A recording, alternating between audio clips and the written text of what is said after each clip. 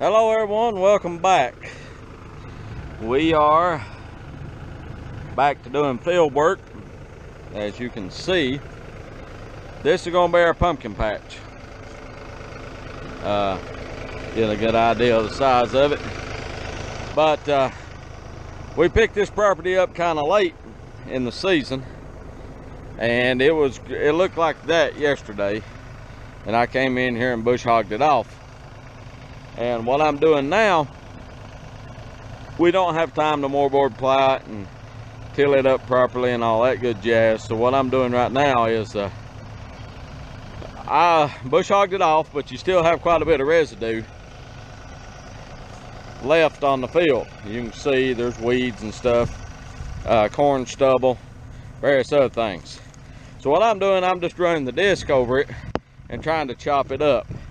And what we'll do from there is uh, we'll take the nine tooth field cultivator and rip it and then we will apply our fertilize, granular fertilizer, incorporate it in probably with the nine tooth or maybe even the disc. And uh, and then we'll come in and plant the pumpkins and use uh, both a pre and post emergent herbicide on it. Uh, we'll use uh, post-emergent to kill any leftover residue and uh, then a pre-emergent to keep keep the pumpkins clean the rest of the year. Now the reason I am running the disc over is try to chop as much of that up as I can so it doesn't ball up the uh, nine tooth or the field cultivator. So that's what we're into today. The ground looks good. It's, it's a good looking piece of ground. Never farmed it before, but uh, this is a piece of ground that we picked didn't pick it up that late. It's just that uh, we never got uh, opportunity to get it tilled. So, uh, you know, it was just one of those deals. But we'll take you along, show you what we're doing.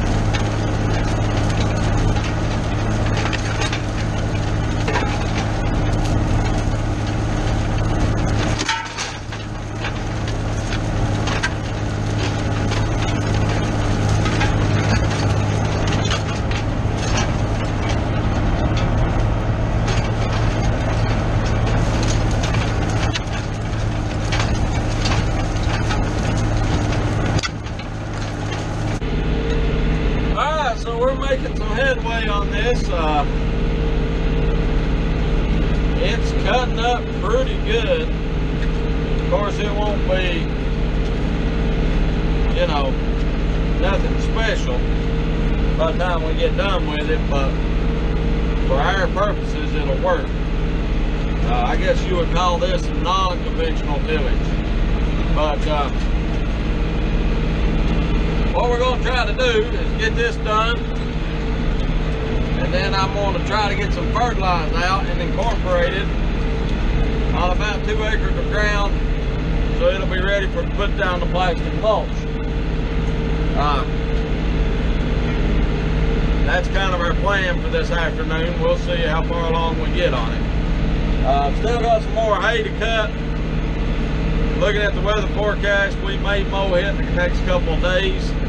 Uh, actually, for the past week, we've been very dry. And uh, I'm not complaining about the weather. The weather will be what the weather will be. But, uh, you know, it's been pretty dry. So, uh, my farming partner is transplanting cabbage and broccoli. That's what he's been up to. And uh, they're getting more of that in the ground while I'm trying to stay ahead of them with ground prep, basically. Uh, not that they're, well, yeah, they are starting to gain on me a little bit. That's one reason I got to get the plastic mulch down. So, uh, but we're, uh, if we can have good luck and keep going for another week or so, we, uh, we'll be in pretty good shape. Like to get the rest of the first cut and hay up. It's uh, starting to hurt. Uh, it's the big field, about 20 acres, thereabouts. I would like to get it down and up and get that off my mind. Uh, anyhow, the way we're, uh,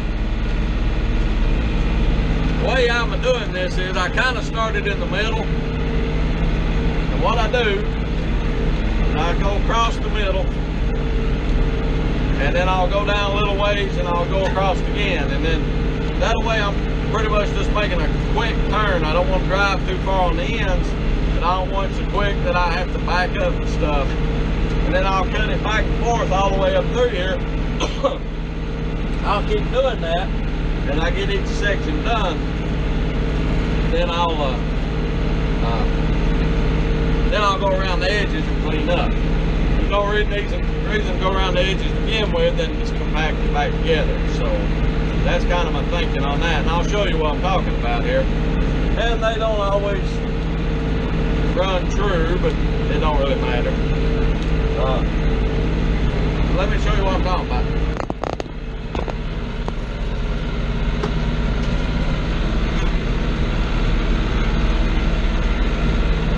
You can see they're a little strip tilled here.